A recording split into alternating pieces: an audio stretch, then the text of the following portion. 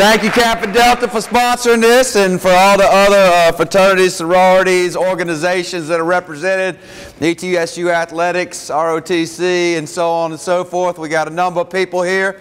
Then I think that's pretty amazing because obviously it's voluntary. You must be here primarily because you want to gain something, hopefully a skill set that you may already have some of, but you might want to augment, or if you're like me, you don't really have any of it. When I started, I really struggled with school. Uh, I'm going to go over this, try to keep it within the hour. That's going to be uh, a task for me because I'm long-winded, uh, but I'll do my best. It's being recorded. Uh, Dr. David Curry is doing that for us, and he and his staff are going to edit it so we can put it up on YouTube and make it more broadly available to people as they need it. However, the research in my class at least shows that it's the people who actually show up that get the benefit out of it.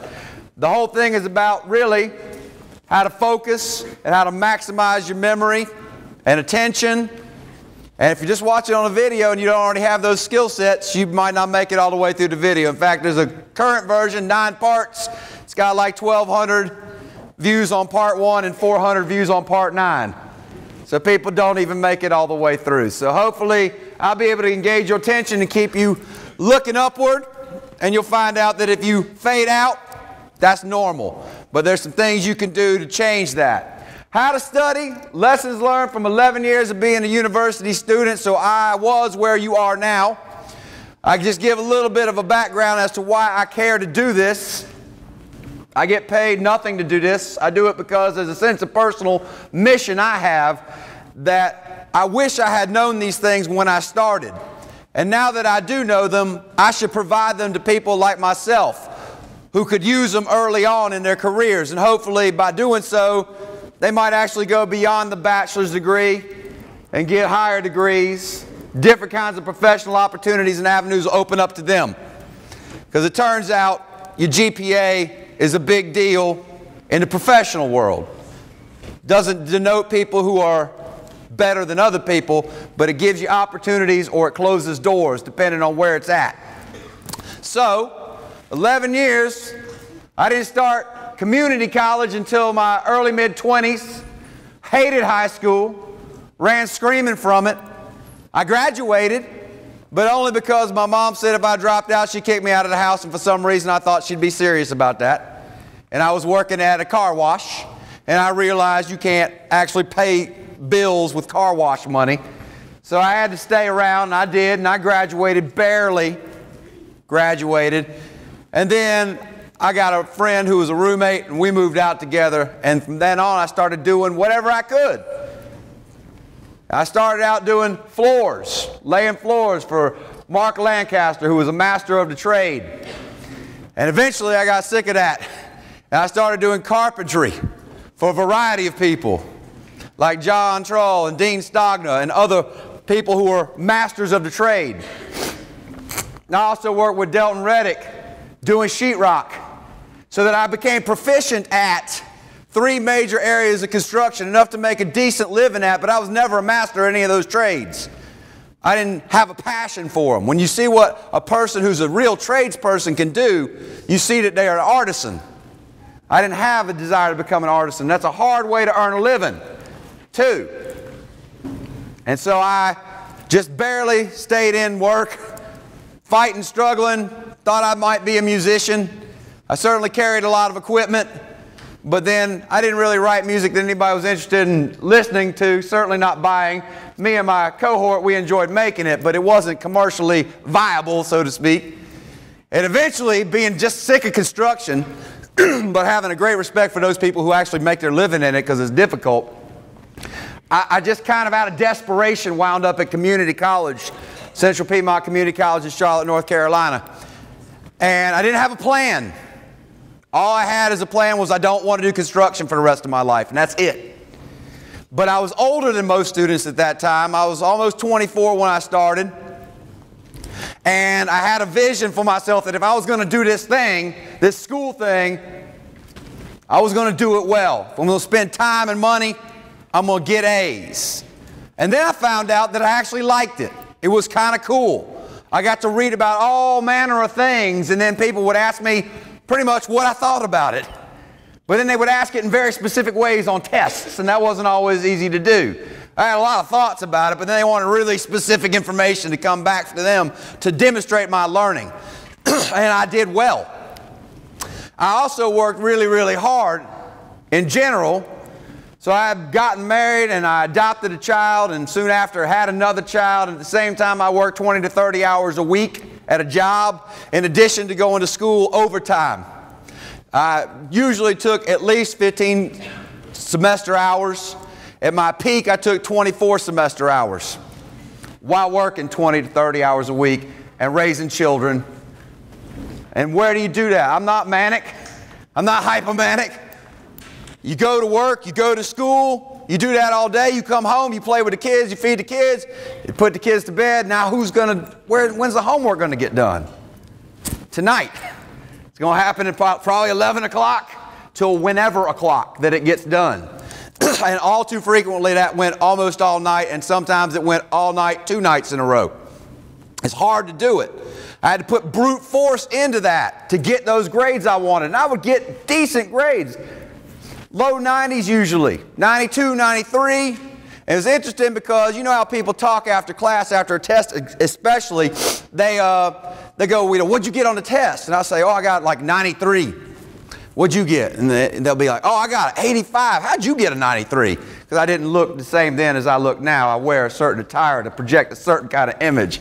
I did not have such concerns then. And they would make stereotypical judgments like, how the hell did he do it? And I say, well, I studied. And they go, well, I studied. And I say, well, how much did you study? And they would frequently reply something like, well, three hours, man. I spent three hours last night studying. I usually leave it at that unless they came back with why. How long did you study? And I would say 15 hours. And that was no joke. And I would say I spent two hours this morning, I spent five hours last night, I spent four hours. I would total it up because I knew when I studied. I was also at every single class and I took notes the whole time and I read everything assigned to me. That is not easy to accomplish.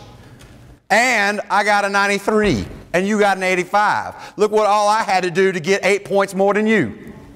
So you should be happy and proud for your 85. I had to work my ass off to get my 93. And I didn't really know what that was going to do for me in the end, but ultimately it started paying me back because the reason I had my 24 semester hour semester was that when I was a senior, I changed majors. I actually added a major because I was almost ready to graduate with a bachelor's degree in philosophy. I was so close that I just went ahead and finished that degree, but I kind of realized that you can't do a whole lot with just a bachelor's degree, and I didn't know that doctoral level training was even possible for me. It seemed like an impossibility, so I didn't even plan for it. But I thought, well, maybe I can do this psychology thing. That's fascinating too. Maybe I can help people for a living and make, you know, mid 20s and somebody would give me benefits like health insurance and, and retirement accounts, stuff you don't often find in construction. That would be fulfilling and solid, steady work. And somewhere in that point at the senior year, somebody said, Man, your GPA, you can go to grad school. My parents have professional degrees. My mom was an RN, my dad's got an MBA. I didn't know, so, so much did I reject that upbringing, I didn't even know what that stuff meant. I mean, I knew a registered nurse had to get a degree of some kind, but I didn't know what the training was. I didn't know what an MBA was. I knew what a CPA was. That's where he started, certified public accountant. But beyond that, I didn't get it. And I was like, well, why would I want to go to grad school? And people say, basically, more money and more freedom. I said, I like that. It's a good idea. So I figure out how to do it, or so I thought I would figure out how to do it. First time I took a shot at it, I didn't know how to do it. I didn't get in, despite having a 3925 GPA. Two bachelor's degrees, a Bachelor of Arts and a Bachelor of Science, and an AA degree from my community college. Didn't get into grad school, went working for $8 an hour at a mental health setting with three degrees, but doing something I really loved. I was digging working there, and I was working with master's degree therapists, and they're like, man, that's what you did to get, oh, you can't do that to apply for grad school. And they schooled me on how to make a strategy to get into grad school. So I actually do another talk on how to get into grad school, and y'all all welcome to that as well. Because I had to learn the hard way. But when I made my applications, ultimately I got my clinical master's degree at Appalachian State University. When I was making an application there, it had a little box, would you like to be considered for scholarships and fellowships? And I thought, well, who wouldn't want to be considered? Check. I never thought anything would come of it, though. I just checked the box. But when I got there, I found I had won the Alumni Fellowship, and they paid for all my school tuition. And then I got a scholarship in the department, and that paid for all my books. I actually made $400 one semester to go to school. I profited 400 bucks, and I bought a drum set because I always wanted one. it's still in my basement. But I didn't know that that hard work early on would pay off that way later. And I made a 4.0 in my master's program, and I got into Virginia Tech, and I got my doctorate, and, and the rest is history. Now I get to do something for a living that I absolutely love. If I was a billionaire, if I was Bill Gates money kind of person, I'd still do this for free. Because it's an amazing opportunity for me to be able to share what I learned, what I got, and give back. And that's a privilege that you get only through the training that's available to you in education of a higher nature, and particularly graduate education. And that's why you want to do this well. It isn't that it makes you a better person, because it doesn't. There are a lot of people with PhDs, EdDs, MDs, all the Ds that aren't great people necessarily. There are a lot that are. But it doesn't make them a good person. But what it does is it opens doors. And the only way you're going to get there is by getting the GPA you need at the undergrad level so you qualify to even apply for the grad program. And you may not go, oh, I'm going to grad school, but you never know. You never know what you want to do 20 years from now. And if you do it right now, it'll be an opportunity that you can avail yourself of if you want to, but you don't have to. And that's why you need to do this thing good. And so it takes some skills. And that's why I take the time to teach people the skills because I had to work so hard that I didn't sleep very much and I didn't get to hang out with my kids as much as I wanted to. To get those grades required lots of effort. Then I got 11 years of experience under my belt. I got some good strategies by the end of it all. If I had known at the beginning what I now know, would have been amazing. But I didn't, so I'm going to give it to you. We're going to talk about what to do pre-class, preview, prepare. We're going to talk about the book itself, how to condense the book, how to make the book your friend, in class, notes and location, post class, reviewing things that you learn in class, distributed and massed practice, which is study, time management, so you know when and how you're going to accomplish all of this. Pre-test, well, all of this is pre-test, but pre-test here, I mean the moment before the test, 30 minutes before the test, 10 minutes before the test, during the test, and after the test, post-test. We're going to go over section by section. If you have questions at any point, please feel free to ask them. I'll be happy to stop and address your questions. Pre-class, preview, prepare, and the book. See if I can get this all on one. There we go. You should read the materials before you get to class. Most people just go to class to see what they ought to have read. But usually there's a hint about what you ought to read. You've got a syllabus, right? You've got D2L now. You've got a chapter, a book. It's going to guide you into what you ought to expose yourself to prior to coming to class. Assigned readings, chapters being covered, notes provided on websites. When I went to school at the undergrad level, there were no websites. There was no D2L, no Blackboard. We didn't have email addresses. I graduated in 96 with my bachelor's degrees. So I didn't have any notes on the website. I provide all my students with all the notes that I'm going to cover in class. Because why not? At the very least, they should read all of those before they come to class because when you get to class, that should not be the first time you've been exposed to the information. At a minimum, it ought to be the second time you've been exposed to the information. And you'll see why that's important shortly. You're going to be sorting through a lot of BS to find what's critically important in your book. Turns out you know as well as I do that book is full of it sometimes, right? Full of fluff. They make it really big and thick and full of color photos and all kinds of neat stuff they call pedagogy so they can justify charging you how much for a new one these days? 200? Anybody, anybody pay more than 200 for a new book at any point? 150? Pretty normal? I know a guy that works in the book industry said 10 years ago he wouldn't believe it if you told him then that books would be over $100 a piece. How are they going to justify charging you that much money? Because they fill it with fluff. It's purty, it's big. But it turns out that's not what all you need to know generally. If you boiled it down to what you need to know, that'd be a much thinner book. It'd be harder to justify charging that much. And then they're going to pay you how much when you sell it back? Like 10% of the cover price, and then they're going to sell it for 75% of its original price. It's a business. They're making money. Smart people making money. I won't begrudge them that, but I will say this your job is not so much to worry about the price of books, but to extract from the book, the book all the information that you need to do well in the class. That's your job. So, how do you know what is important in that big book? Preview it.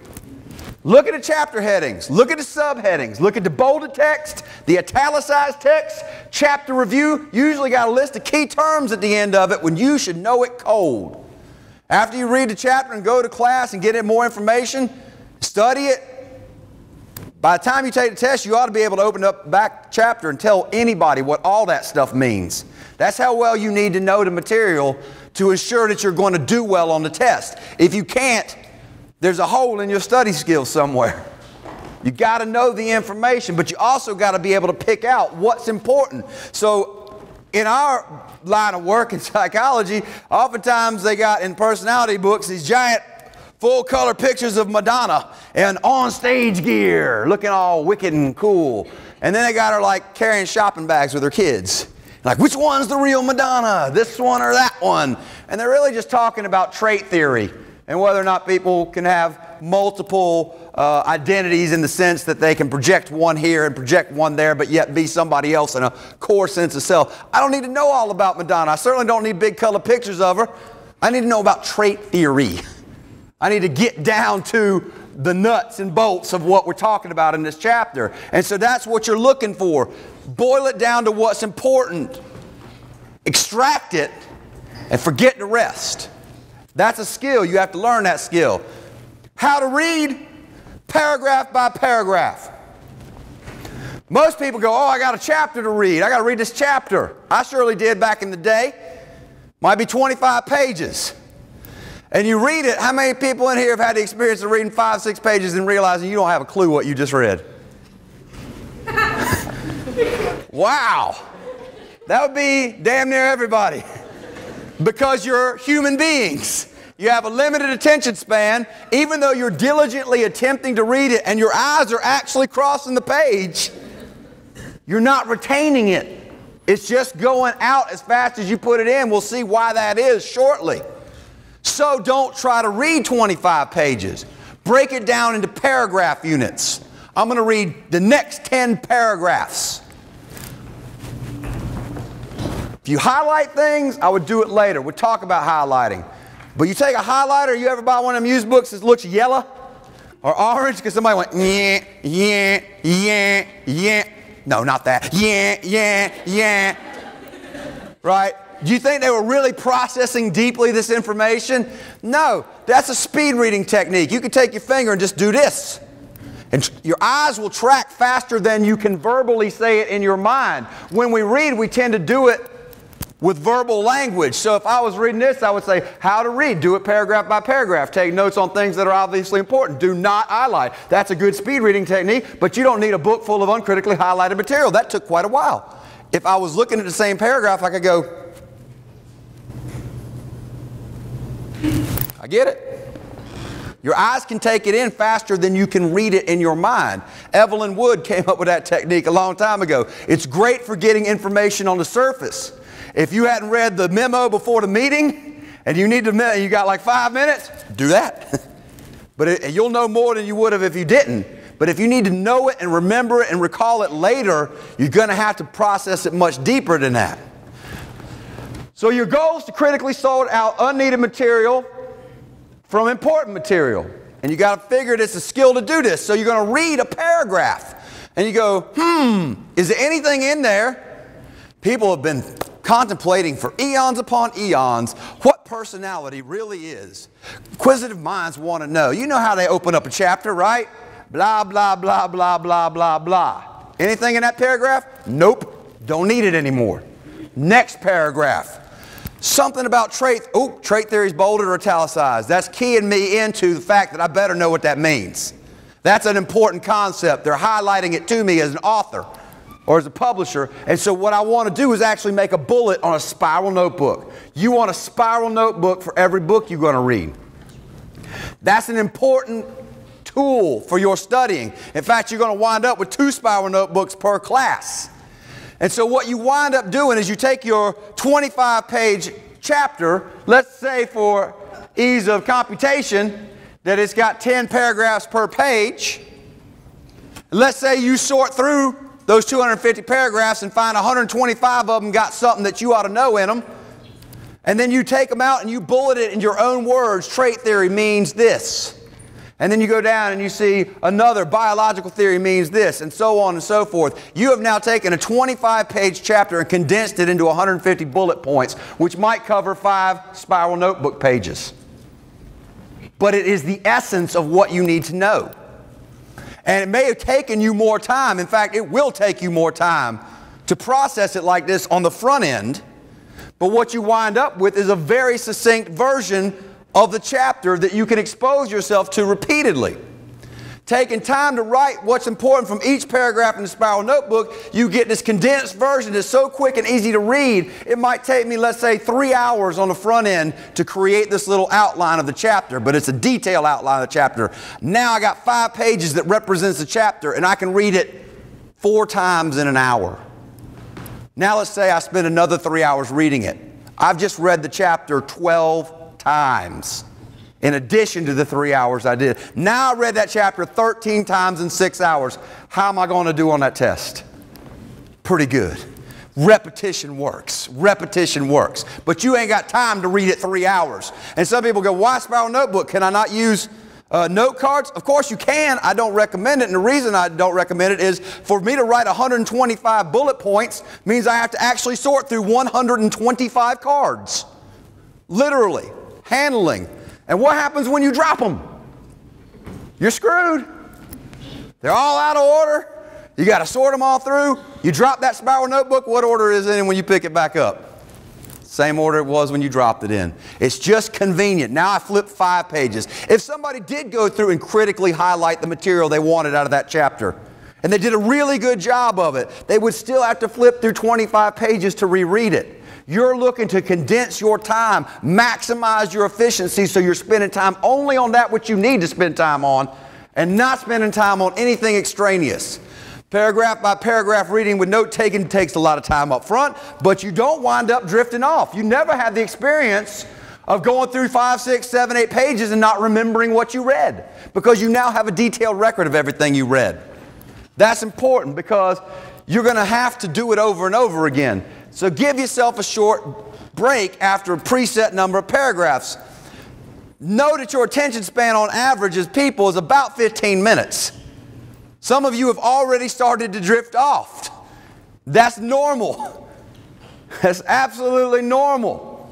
You start thinking about stuff like, I'm hungry, I'm tired, I wonder what he's doing later. Wonder what she's doing later. You start thinking about other stuff despite your best intentions to pay attention.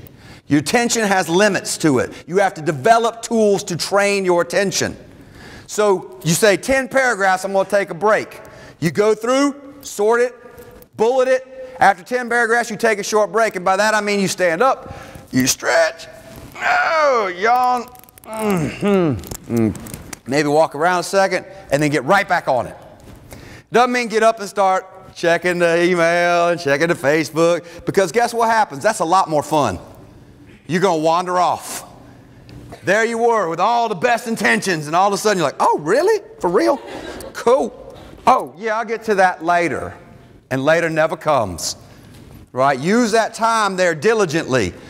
Get up, Shake it off because you want to actually physically refocus your attention and hit the next 10 paragraphs. And stay at it the whole predetermined amount of time you said you would sit and study. That's important. You get my notes if you're in my class, but I always challenge people don't bring them to class with you.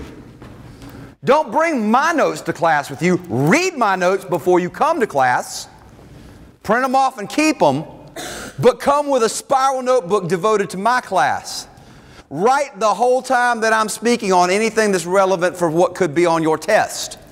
Not because everything I say is all that important, but because that helps you keep your attention on the speaker. If you bring the instructor's notes with you, you tend to just kind of follow along, passively receiving a lot of verbal information. Occasionally you might star something or make a note in the margin, but you're not really processing the information.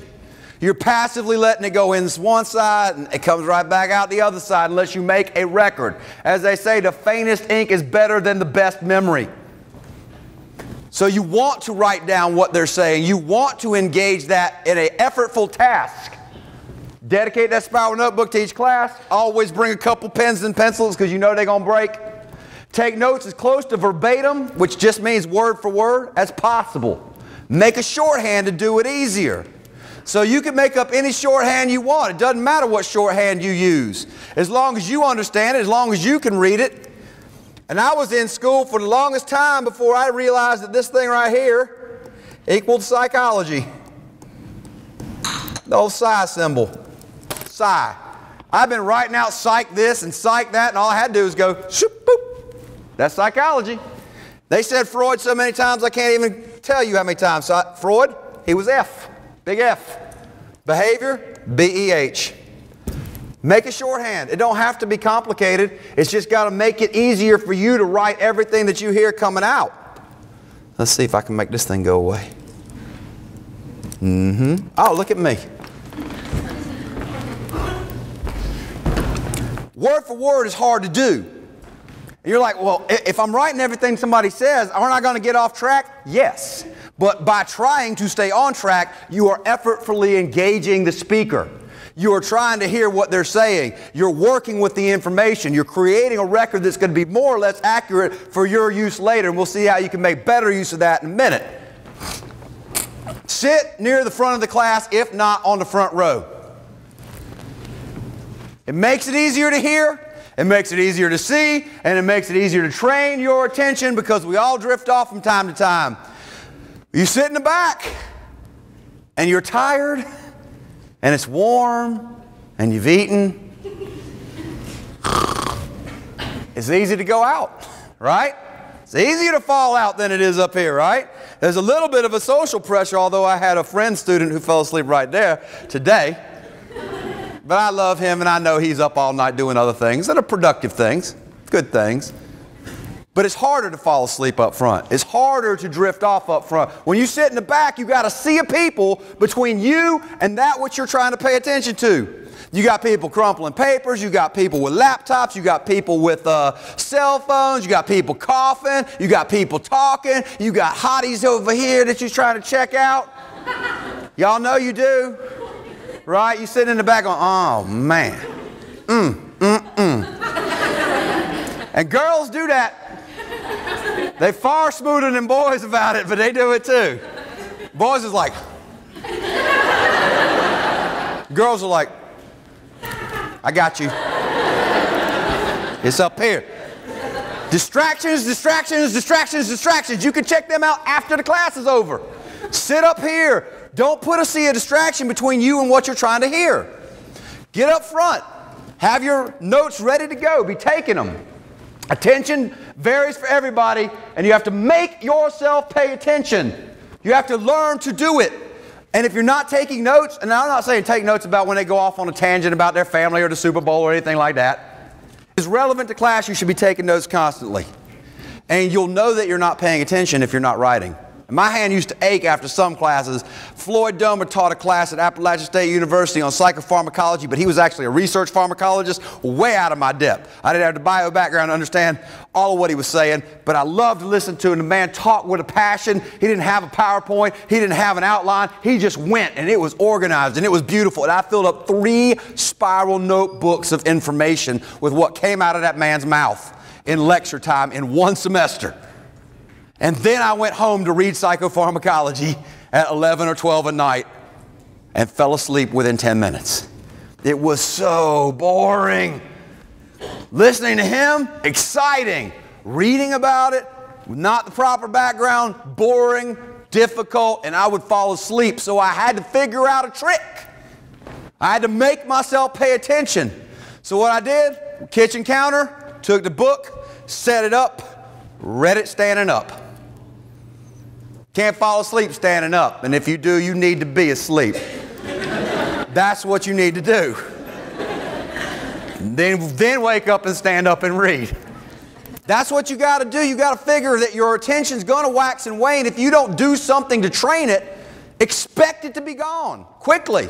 You've got to work on your own strategies to stay engaged with material. After you get out of the class and you've got your class notes, review that material within 12 hours. Just read it one time at least. Read the notes that you took in class within a half a day. Because forgetting, as we'll see, is extensive and it happens quickly, very quickly. Then, when you're doing your studying, read the notes from the previous class that you took every time. Then read the ones that you've been given. Now, you've got book notes in a spiral notebook, you've got lecture notes in a spiral notebook. You already got a condensed version, now highlight that because you'll find out that you can get faster and faster and faster at reading this highlighted material once you've read it five times now you really only need to see certain keywords to refresh your memory about what it is. Now, even as a professional psychologist, I still have to take tests. I still have to get continuing education. To get licensed, I had to take an oral examination with three people I'd never met before on all the laws of Tennessee that pertain to the practice of psychology, the APA ethics, and a whole bunch of other stuff. A bunch of stuff that amounted to a pile like that. And so I took my time the first time and I condensed it down to, I guess, around 20 or so spiral notebook pages. And then I went through and highlighted the critical information there, and I read it over and I read it over, and then I read it into an MP3 recorder. And on my drive to Chattanooga, which is four hours, I listened to myself read it back to me. And when I went into that oral examination, they said, We're going to ask you random questions from a list that nobody's ever seen. Are you ready? I said, Yes. Let us proceed. I don't remember the particular question the guy asked me at this one. It was the second or third question into it. He asked me a question and I nailed it to the wall. Textbook response. And he looked up at me and he's like, Did you anticipate that we were going to ask you that question? Now, I didn't say this, but I'm thinking, what, do you call me a cheater? You just told me that you're going to ask me questions from a list nobody's ever seen. You're going to pull them randomly. How could I possibly have anticipated that you were going to ask me that question? I knew the material that well. And then when I drove away, don't need to remember it anymore. It was there when I needed it. I performed as I needed to, and then I went on about my business and my life. You want to get it down to a condensed version because, as it turns out, you think that you remember stuff by just showing up. Everybody does. And people go, man, there must be something wrong with my memory. Nope. Memory sucks for everybody. Humans don't remember things well. They think they remember things well collectively, but individually we go, well, why can't I remember things well? You can't because none of us can. That's why eyewitness testimony on which most of our judicial system is based is notoriously what? Good or bad?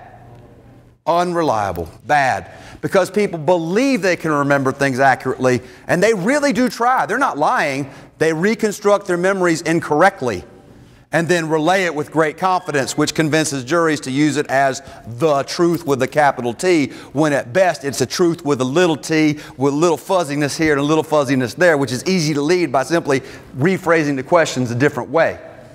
That's the job of a good lawyer. Get the responses you want from honest people who swore to tell the truth, and they are, to the best of their ability. But the problem is, memory's not that good with human beings. Herman Ebbinghaus studied it himself. He made up these nonsense syllables. He realized if he tried to study memory on himself, he's already at a limitation because using yourself as your subject is usually not a good idea as a scientist. So he had to be disciplined and rigorous. And he realized some words, if you use regular words, would stick out in his memory better than other words just from previous associations or experiences with them. So he made up nonsense syllables, a bunch of short syllables that had no meaning whatsoever. And he made different lists of them. And then he would vary the amount of time he would study the list and the amount of time between studying the list and recalling the list. And then he would see how well he did on recalling the items from a list. So he would have a pretty objective idea of how good memory is. Well, let's say his list was, I don't know, 15 items long, and he studies for five minutes. Study, study, study, study, study, study. The interval now going to be 10 seconds. One, two, three. Write them down. As long as you jumped right on it, he did pretty good. If he waited as little as 20 minutes, over 40% of it was gone. Gone. If he waited as little as an hour, over 50% of it is gone. You wait nine hours, now over 60% of it's gone. And what you see is it just kind of levels off so that whatever you remember two days later, you tend to remember about a month later. But it ain't much. I used to be the TA for a grad, uh, or as a graduate assistant, I was a teaching assistant for uh, Scott Geller's class at Virginia Tech, and there was 1,200 people in intro psych, and I would have people come up after the test and very, very earnestly go, I don't know what happened. I should have done better on that test. And I would very sincerely ask them, okay, well, what did you do? Did you read the material? And they're like, yeah, I read the chapter. I was like, when did you do it? Last night. I read the whole thing. I'm like, is that the only time you read it? And they're like, yeah, but I read the whole thing. One time, it's gone. Now, you don't remember, you don't lose that much information because those aren't nonsense syllables. You've got some experience with chemistry or English or psychology or the English language or whatever language is being taught in. That's why you don't lose that much. But they were making 60s and 70s when they thought reading the material one time should have produced them an A. And it won't. You got to hit it again and again and again and again. Repetition works. All the fancy memory seminars, all the fancy mnemonic devices, that they'll charge you plenty of money to teach you this stuff. But if you think about it, every mnemonic device simply makes you work with the material more than you would have. To construct a mnemonic device, you have to think about the material. You have to contemplate creatively ways to remember it. The more you do that, guess what? The more likely you are to remember it. So if I said ocean is the big five personality traits, ocean, ocean, how am I going to remember that? O, openness, C, conscientiousness, E, extroversion, A, what is that? Oh yeah, agreeableness, and um, N, neuroticism. That's just a mnemonic, but for me to even remember what that is, I have to do what? Say it over and over again until I teach myself the mnemonic. It's not magic. It don't cost a thousand bucks. It's all about working with the information over and over again, but doing so in a way that makes sense. In terms of your time, y'all are all busy people. I know that you are. Life is busy. But notice the university, and this is all of them, expects you to spend three hours outside of class for every hour you spend in class. Which means if you take 12 semester hours, that theoretically each week you are supposed to be spending 48 hours on school for four classes. That's why they call it full-time school. That's why they treat it with certain status when you look at financial aid and benefits. Full-time school equals full-time job. In fact, 48 hours is eight hours more than a full-time job. That's a six-day work week. Nobody does this. And there's no reason to think that they would. But if they did, just if they did, if you spent 48 hours a week, that's not breaks, that's not hanging out, that's not sleeping and talking, it's 48 hours on the work. If you did spend that, and that includes class time, what kind of grades would you make in those four classes? I hope you make straight A's, right? But you can't do that. That's not realistic. So the goal is to figure out what between zero and 48 do I need to do to get the job done, and it ain't zero either. It's certainly not 48, but it ain't zero. You got to figure it out. Where is my window of absolute necessity to know that I've studied as much as I really need to study to accomplish my goals? You got to dedicate sufficient time to really study and make sure you're able to focus on it. This is where we get into a difference between technique and motivation. I give people techniques all day long. But if they don't really know why they're in school and they don't really have it in their heart, they don't really have a fire for it, they're just there because they know they're supposed to be there or somebody told them to go there or it seems like the thing that they ought to do. They don't have the motivation, no amount of techniques is going to help.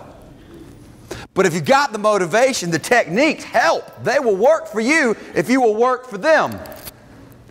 So hypothetically, if class was four hours a day, and it ain't, Ain't nobody going to class four hours a day, 20 hours a week, right? We said 12 semester hours. That means you're probably going four hours a day on maybe three days a week on average, roughly, for those four classes. But many people take what?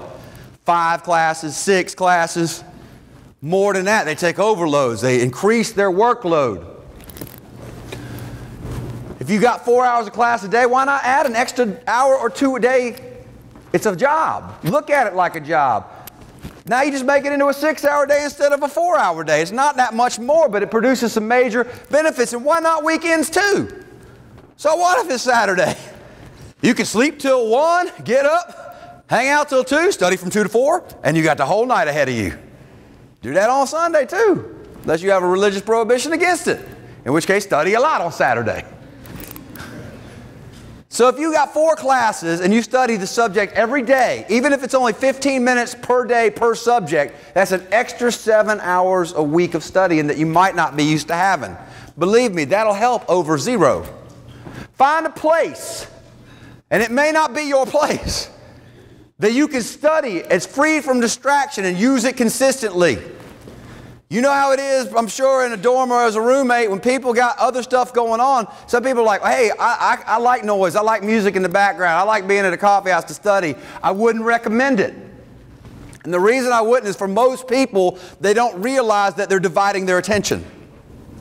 They like the music or they like the TV show and they figure they can focus pretty good. But what they're doing is dividing their attention. For that music to go in, especially if it has words associated with it, their auditory cortex is processing that set of words. It's hearing it and it's processing it while you're visually trying to take in information that you're trying to focus on. For me, if you're going to listen to music, make it lyricless music. So that it's just sounds but no words that your brain will process even though you're unconscious of it.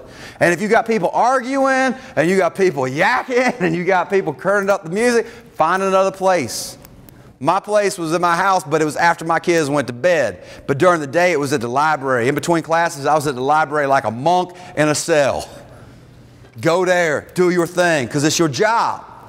When a test is coming up, increase the amount you study daily and the day, night, or morning before the test, study more, way more. Five hours wouldn't be unreasonable. Ten wouldn't be unreasonable.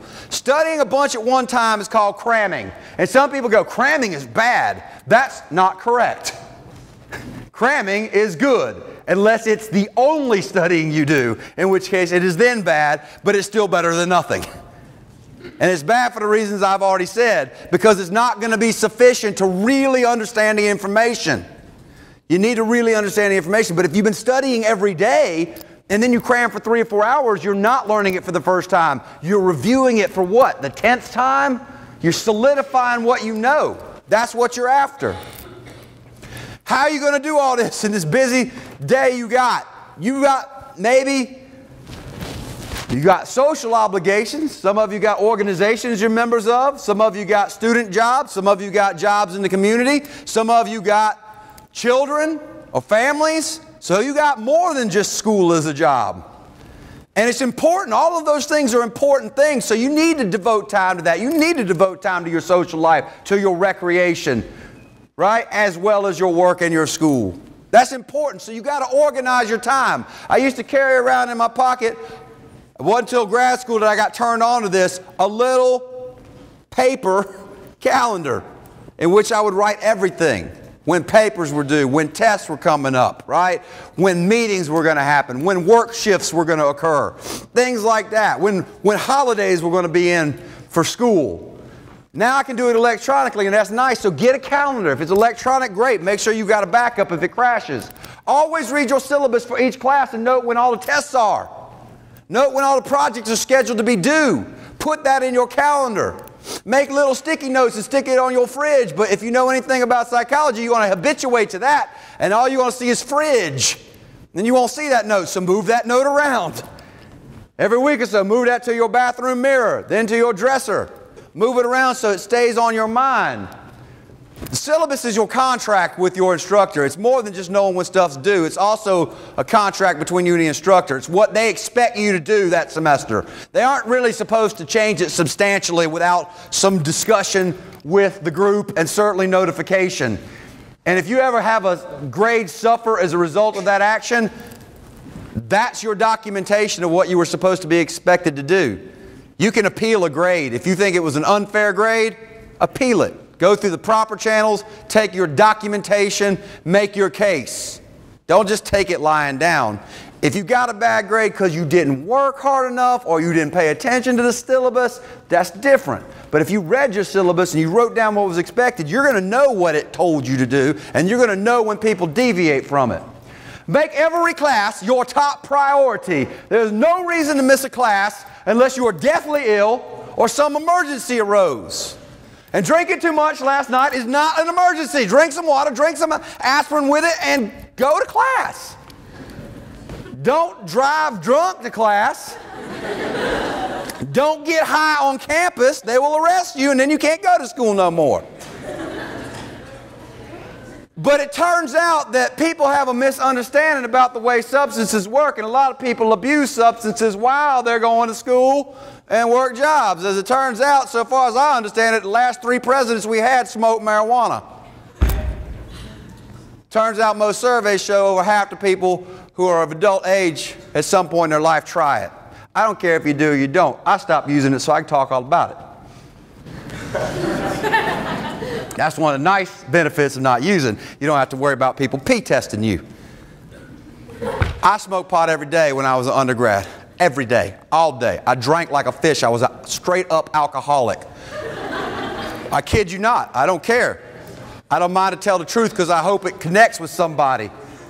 At the end of my drinking phase, which was about 17, 18 years ago, I was just drinking three quarts of malt liquor a night. I thought that was a very reasonable amount. And I went to class every day and I made A's. I made A's. Nobody ever wanted me not to work for them, ever. Even when I was a rowdy pre college person working, jumping from one job to the other in construction. When I showed up, I did my job. I might have smelled funny, but nobody cared. They knew when I showed up, I was going to do my job. I'm to do it well, and then I'm to go home and get high. That's what's to happen. That's the way it goes back in those days. I've changed my ways for my own reason. I'm not moralizing, but I was uh, privy to a, a, a, picking up of a person who had imbibed too much, and, and good for him for getting a designated driver. Never drive under the influence. And he was being asked on the way home, You going to class tomorrow? And he goes, Man, I don't know. It's like classes at 1. And I was like, What? Seriously, dude? It's 12:30 at night. You could drink for 7 more hours. Go to sleep at 7:30, wake up at 12:30, drink some water and take some aspirin and go to class. What's wrong with you? Class is at 1 o'clock. Lightweight. Don't be like that. Don't be like that. Class is number one. Party is number two at best. Responsible use, if you're going to use, is number one.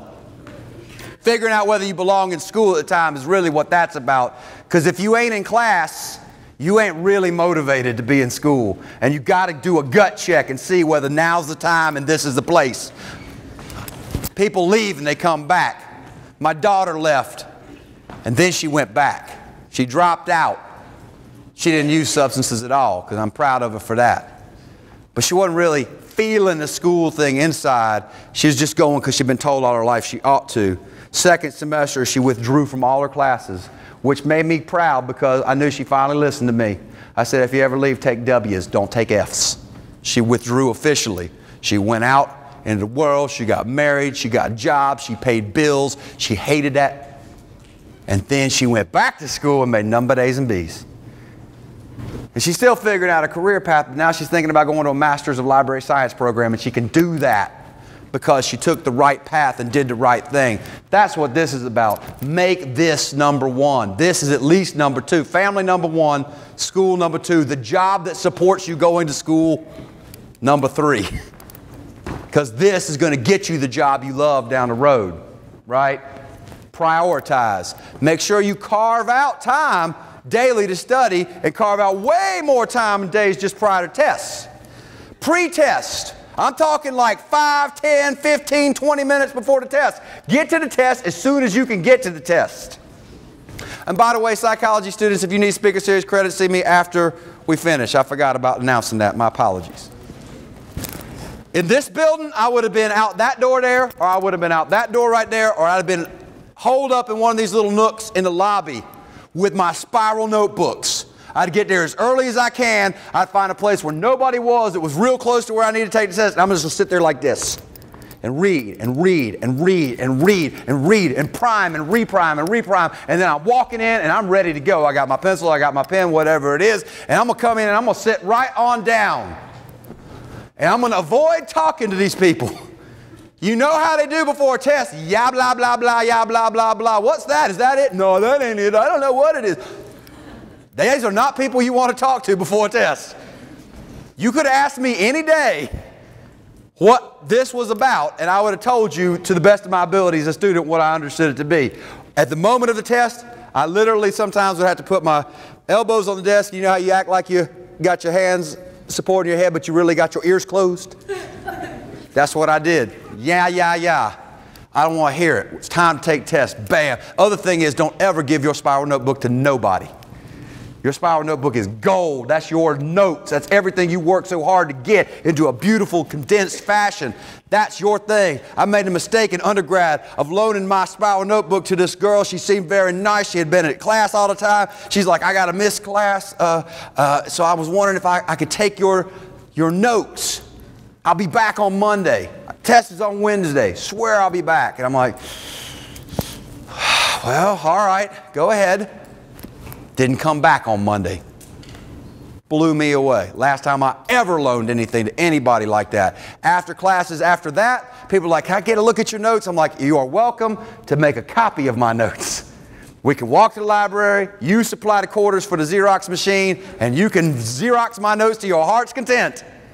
But don't expect me to explain my shorthand to you. You got to figure that out. So you keep that stuff. It's yours. Now you're ready to perform. Now, Get comfortable. Breathe deep. If you got test anxiety, usually people with test anxiety have studied a plenty. They know what they need to know, but they get into a situation where they're going to be evaluated and their heart rate rises. They start to get an adrenaline response. I have a whole nother video that Dr. Curry and team have created that's out there on YouTube now and ETSU iTunes, is that it? ETSU and YouTube. ETSU and YouTube. Watch that. It's an hour long. It will tell you how to stop a panic attack. If you can stop a panic attack, you can conquer test anxiety. There's a very specific procedure you need to follow. It's right out there on YouTube. Go get it, learn it, practice it. If you do it right, you do it long enough, and you do it persistently and consistently, you'll beat it. But basically, you know what you need to know. So take a deep breath in, take a deep breath out completely. Relax until your heart rate settles. Then look at item number one. Don't pay attention to other people while you're in that test. At the very least, you don't want to be accused falsely of cheating, so I don't want to be looking at anybody else, number one. But they're just going to distract you. You don't want distractions. You want focus in your test. You want to get calm, and then immediately, if you got scratch paper, write down anything, data dump right there. Quadratic equation, anybody know it? Go ahead, say. X equals negative b plus or minus squared. And b squared minus 4ac Yeah, it's complicated, isn't it? Why would you try to keep that in your head and then do problems with it? Just dump it. Write it on a piece of paper. Say it again, again, again, again. Walk in there, get your piece of paper, write it out. Now all you got to do is plug in numbers. You don't have to remember the formula while you're looking at problems. If you go into my psych test, you go, oh, ocean, O C E A N. Now you're done with that. As soon as you see a problem that asks about trait theory, big five, you're looking for the answer that has O C E A N. And you don't have to think about it anymore. You dump it. When you got multiple choice tests, cover up the answer choices. Read the stem carefully and answer it in your mind. You know this material well enough, you should know the answer. Once you feel confident with the answer, now you look. A, is that it? Nah. Mark it out. Write on it if you can. B, kind of, sort of. That's kind of what I'm thinking. Question mark. C, huh, definitely not. Mark out. D, B or D. Now you got it down to two. That's better than 25% chance to knock it down to a 50% chance is a good thing. Four options to two options. But you know what? If you know it well, go, why would it be B? Why would it be D? And you'll probably figure it out. If you don't know it, star it. Make sure you skip the bubble on the answer sheet and keep on moving because you know from your own experience sometimes you'll go to test questions later that will tell you the answer to a previous question, right? You're like, oh, if this is here, then this must be that there. So don't agonize over it. That's a strategy. I worked with a woman once at Appalachian State. She's like, I know this material. And when I asked her the questions, she could tell me the answers, but I don't give oral exams. I give written exams. She needed to be able to translate that to written. I told her that, just cover them up, think about it, mark them out. She went from making 60s to almost hundreds every time just by changing the strategy. If you got an essay test, you got an hour, for example, to do four questions. Let's say one of them is uh, compare and contrast the reasons for the Industrial Revolution in uh, Europe versus America. Right? So there's similarities, there's differences. First thing you want to do is not find the hardest question and try to answer it. First thing you want to do is go, I got four questions. Let me data dump everything I know on each question. So you just start bulleting stuff out on scrap paper. Take two minutes per question. Now you got 13 minutes per question to go back and answer it, but you got an outline to follow. And that outline will prompt more things in your mind, so it'll be much more organized response, and you're much more likely to recall all the things you actually learned about it. And then you got to manage your time because if you spend, oh, an extra 15 minutes, I was supposed to spend 13, that means I got two minutes less. Adjust the time across the test and work it methodically and systematically. Now, we're almost there. Hang with me. If you got a cumulative final, it's not that big a deal. It's a big deal to people because people don't know how to do what I'm telling you to do. If you do what I'm telling you to do, it ain't a big deal to have a cumulative final. It really isn't. Study the previous exams material for each new test. Review it each week. Your course, your focus is going to be on the current test. So if I study for test one, I do well, good. Now test two, my focus is on test two, but I'm going to go back and reread all my test one stuff. When I do test three, I'm going to really focus on test three, but I'm going to go back and reread test one and test two. When I do test four, focus is there, reread one, two, and three. When I get to test five, I'm not relearning stuff. People freak out because most people do test one and go, whew, done. And they don't look at it again. Then they do test two and don't look at it. They do test three and they don't look at it. They do test four and don't look at it. They get to the final cumulative and they're like, oh my goodness, I don't remember anything. And they have to reteach themselves stuff they learned three months ago. If they were revisiting it all along the way, they wouldn't be reteaching themselves. They'd be reinforcing what they already know. That's how you get a cumulative final done without anxiety. If you don't have a cumulative final exam, you know what you do with that information after you're done with a test? Forget it. You don't need it anymore. I took 160 credit hours almost in getting my degrees at undergrad level. How much of that do you think I really remember of the millions of words I probably read and heard? I can't remember all that. I don't need to, though. I didn't need to remember everything from my oral exam for my professional licensure, not because I'm a a poor practitioner, but because I'm a good practitioner. I know what I need to know to do the job. And if I ever need to know something about Tennessee law, guess what? I know where to look it up. I know to look it up. I know how to find information. I know how to evaluate that information. I can get it quickly and use it. So if you don't need it immediately thereafter, dump it. People who have doctorate degrees, it isn't like they're so much brighter than everybody else. After 11 years of studying psychology, I better know more than the average person, or there's something wrong with me. But it wouldn't surprise me if most people don't remember one class in psychology. I took class after class after class after class after class. That's why specialists and experts are go to people because they re expose themselves to the material time and time again and stay updated on the current stuff.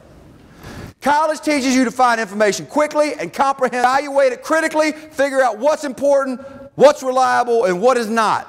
And that's a value add to your future employer. Your bachelor's degree is going to be hard earned, but when you're done with it, they're just going to hand you a piece of paper for all that work. And they're actually not going to do it when you walk the stage. You're going to have to come back and get it. That's an important piece of paper because it allows you to apply for jobs that you otherwise do not qualify to apply for. But when you get that job, your employer's not going to go, oh, you got a bachelor's degree? Come tell us what you learned in college. They're going to say, what? Here's the policy and procedure manual. Read it, know it, do it. But if you understand how to use information, how to understand problems, you're going to be a value add to that employer. You might be the employer, you might be the entrepreneur. And you're going to be able to analyze problems. You're going to be able to go to literature. You're going to be able to see what's been done before, what works, what doesn't work, design an intervention or a solution, implement it, measure it, determine whether or not it did any good or not, or if it made it worse. And by that token, you're going to make your organization better. By that token, you're going to make this world better. And that's why this college experience is so important. It isn't because you get the piece of paper, it's because you become a better thinker. And that helps all of us when our society becomes better at thinking critically. And that's all I got today. Thank y'all for coming very much.